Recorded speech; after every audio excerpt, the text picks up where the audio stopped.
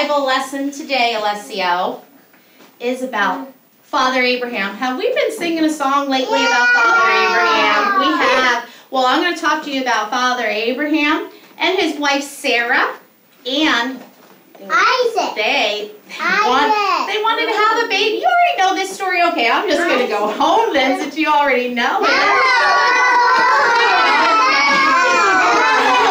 Super job, guys. Yeah.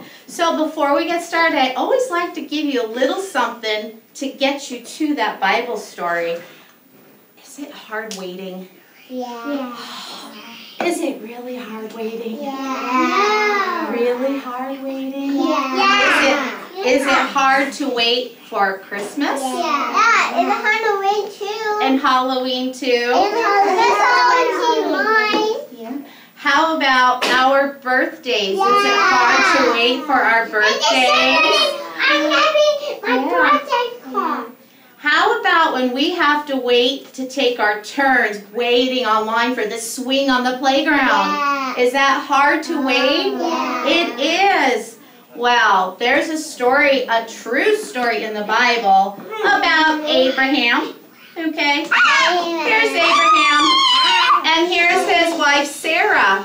And God made him a promise. You want to know what that promise was? God promised Abraham and Sarah that they would have many, many, many. Here's a big word you're going to learn today. What? This says descendants. Can you say descendants? Do you know what that word means? No. Oh. Can I tell you what it means? Yeah. It means that you have a mommy, right? I have. And mommy has a mommy, right? Yeah. And you have a mommy and a grandma. And then they had a family, and then they had a family, and then they had a family, and they had a family, they had a family. This week, Miss Marie has been talking to you about families, right? Yeah. That's right. Well, we're going to put Abraham and Sarah over here for a little while, okay? They're going to come back and say hello later because I have another part of my story right here. Along with that promise, friends, I have something to show you. God promised them that not only would they have a son, but they would have as many descendants as there are stars in the sky at night, as many as there are stars, and as much as there is sand on the beaches. Is that a lot? See if I can Yeah. get this open. There it is. I'm going to pour some in my shell here. Can you count this as I'm pouring it? One.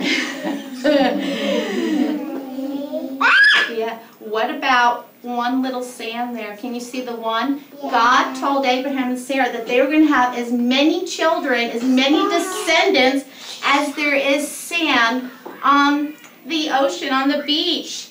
And I'm going to turn the light up because I want to show you my stars. There was a lot of stars, like a lot of descendants that God promised. Are you ready? Yeah. Okay, here comes the stars. Ooh, there we go. And that was God's promise. But you know what? No, it's got. Sarah was very old. She was older than me, a lot older than me. And so was Abraham. And they were like, how can we have a baby? We're way too old. I could be a grandma and I could not have a baby, but that's God's promise. God promised to give them a son. And this is how it started. One day, one day, Abraham was sitting out by his tent.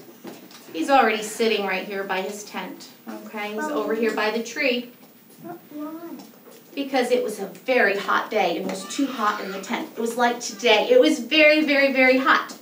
And then all of a sudden, he saw some people, some men walking down, What? What? and It's together. I'm going to move this over here. Give me a little more room. Hey. So he was sitting out by the tent, and it was very, very hot. Yeah. And what do we like to drink when it's hot out? Water. Water. So this is Abraham. He saw him, and he decided, say, Hi, how are you, friends? Would you like something cool to drink? And they said, Yes, we would. It's very hot out there. So they decided to go sit down and they were going to have a cool drink of water. And then Abraham said to who? Who is this? Sarah. Sarah. She was in the tent. Go get bread and make them some bread and get them some water to wash their feet because they didn't have shoes on and their feet get very dirty. So that's what she did. She went inside of the tent and she decided to make them some food. So she went in and she made it and then The stars. then she came out with the food and she brought it and they sat down and they had some bread and they had something to drink. And then the men said, Do you know what, Sarah? And she was back over here by the tent. She said, God said that you're going to have a baby in about a year from now. She laughed. She, Are you serious? I cannot have a baby. I'm too old. So the men went away. They walked away. And then what happened was about a year later, guess what happened? What? What? Here comes Abraham. And he's very, very, very, very happy to find out that they had a baby. And who was that baby? Jonah. Uh, the baby was, you said before, Isaac. Isaac. And here's baby Isaac. Let's see if I can get her to rock baby Isaac because he was probably crying. But they had to wait a long, long time because she was about 90 years old. She was kind of old. And Abraham was a 100. Can you believe that? Yeah. They had to wait a very long time. I forgot to show you. I have my toaster here. I'm going to make some toast because I'm hungry right now. It's almost lunchtime. I'm going to put it in here and we're going to wait. I'm going to put the toaster down. I'm going to wait. Are you hungry? Are you hungry? Yeah. I wonder when it's going to pop up. I'm still waiting. I don't think it's ever going to happen. But you know what? It's like God promised Abraham and Sarah that they were going to have a baby, and they waited, and it came up in the toaster, right? The toast came up out of the toaster, and God kept his promise. My mom here. Yeah. My mom is at home and I Can we pray about that? Yeah. Okay, guys. Dear God. Dear God. We thank you so much for keeping your promises. We know that you put a promise in the sky when we see a rainbow,